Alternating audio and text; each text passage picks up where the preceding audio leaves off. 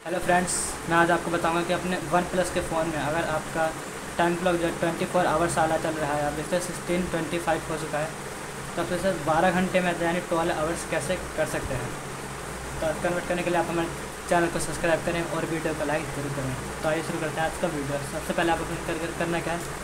आपको अपने फ़ोन की सेटिंग जो है उसको ओपन कर लेना है आप देख सकते हैं। तो आपको नीचे जाना है आप देख सकते हैं नीचे डाउन नीचे जाना है।